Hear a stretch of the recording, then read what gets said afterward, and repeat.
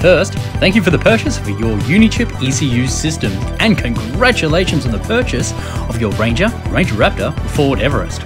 We hope you enjoy the benefits of the simple to use and easy to follow DIY instructions. Rich from Unichip Australia will take it from here.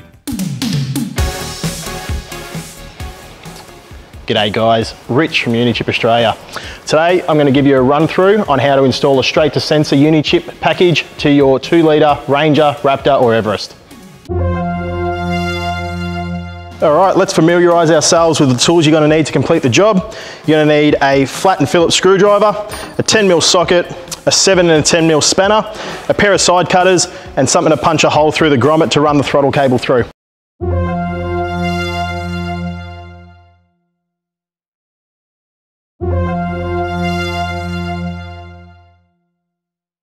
Next, let's go through what you've received in the post for your, uh, your Unichip package.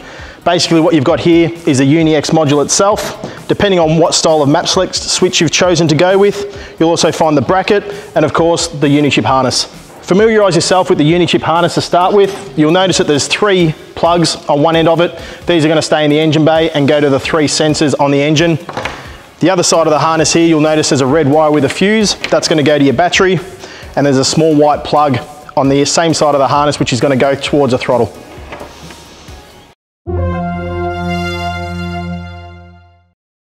Okay, now let's move on to the car. I've already completed the complex task of opening the bonnet. So as you can see, this one's up already. Once the bonnet's open, you've got to grab that 10 mil spanner we spoke about, undo that negative battery terminal.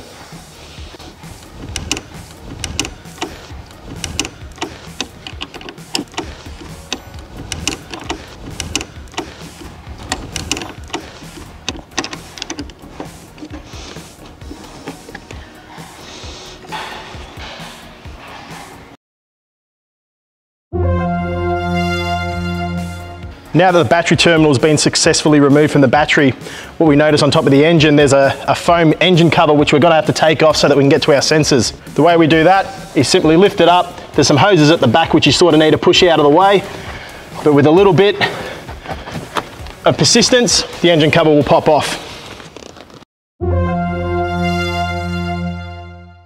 Next thing we should do is familiarise ourselves with what sensors we're going to be going to. Luckily for us, they're all in close proximity to each other. So the first one you'll pick up on is this one here. This is called the fuel rail sensor. This is one of the plugs we're going to have to undo. Directly behind that, if we move these hoses out the way, you'll see that little vertical plug right there. That's the cam sensor. And the third and final sensor is on this side of the intake. On the side there, it's the map sensor. We need to get to, to all three of those. All right, with these sort of plugs, you'll notice there's a white tab in the middle of them. To release the plug, you need to slide the tab backwards, push the button in the middle, pull, the pull back on the plug to get it off.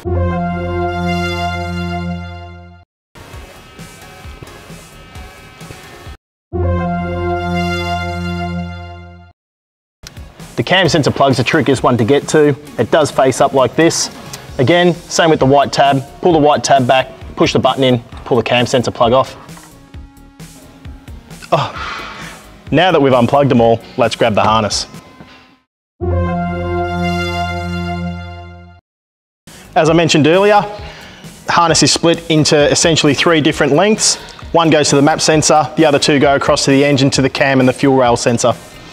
So what we'll do, run the harness along the back of the engine. First and easiest one's the map sensor. So what we're gonna do is gonna plug the factory harness into this plug here and obviously the corresponding plug into the map sensor itself. Should be able to see. Mm -hmm. Good. Mm -hmm. And push. Right, now that the map sensor is done, we're going to move on to the two sensors on the engine. First one being that cam sensor, the tricky cam sensor we spoke about. Now, again, move the hoses out the way. Try and keep the harness neatly tucked in with the hoses themselves. Find your cam sensor plug in the harness, this one here. Plug that one into the cam sensor, and then obviously the corresponding plug for the cam sensor into the Unichip harness itself. All right, lastly, certainly not least, my personal favorite, the rail pressure, Kasut Smut.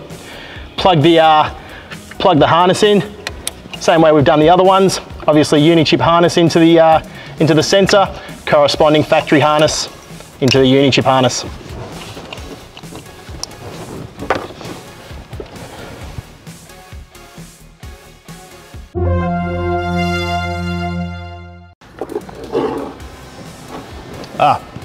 All right, next thing you need to do is make a hole in the grommet in this left-hand back corner for your throttle wires to go through.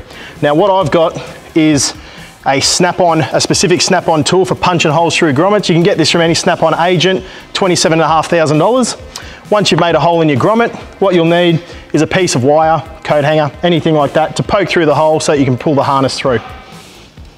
Okay, grab the throttle harness. This has to come from the inside of the cabin out, obviously with the smaller plug. So run your wire through the firewall, tape it to your harness and pull it back through into the engine bay.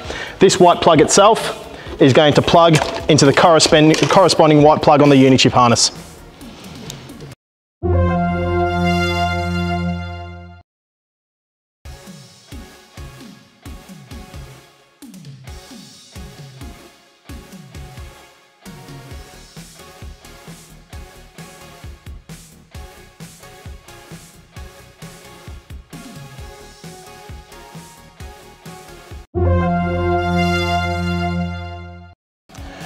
Right, now that we've done all the sensors that we need to for the Unichip harness, what we're going to do is connect the positive side of the battery. So, as I mentioned earlier, red wire with a terminal on it. Locate the little M6 post here on the positive battery terminal. Undo the nut. Slip the terminal on. Put the nut back on and tighten it up.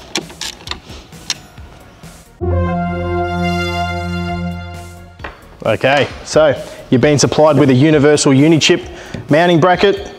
Now essentially this can be mounted wherever it will fit. We have got an idea of where to put them if your engine bay is pretty much standard. So mount the Unichip onto the bracket like this using the supplied M5 screw and nut combination. Now you would have also noticed we've supplied a little sachet of lube. This isn't for your next camping adventure. What we're gonna do is we're gonna put it on the Unichip itself. It's gonna prevent any corrosion. Righto. Now we're ready to plug the Unichip harness into the Unichip itself. The two black plugs are different sizes, so you can't mix them up.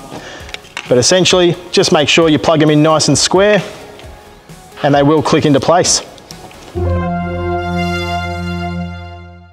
Okay, if you've gone for our Bluetooth map select option with your kit, this is the time to plug the Bluetooth module in. You'll notice there's one six pin plug in the middle of the Unichip there. That's where the Bluetooth module plugs into.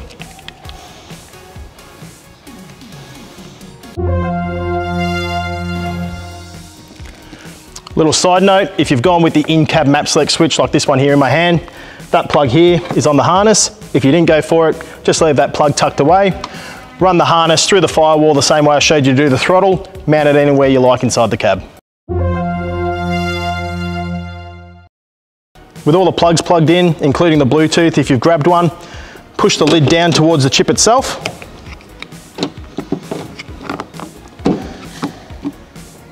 And using the supplied little self tappers with the Allen keys, secure the lid down with that.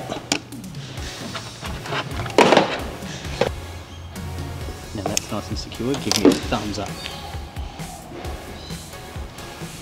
Right, time to mount the Unichip. Now, like I mentioned earlier, the bracket we've designed is meant to go just here on this body clip. So the easiest thing to do is pop this body clip out, gives you a hole to run the supplied nut and bolt through to secure the bracket.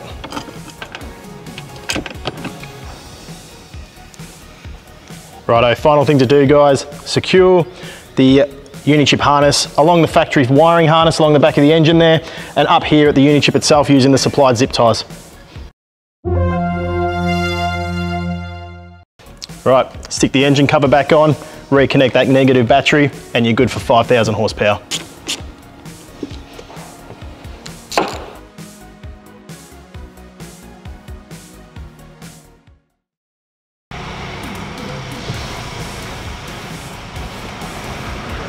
Thanks for watching guys. I'm Rich from Unichip Australia, signing off. Enjoy the drive.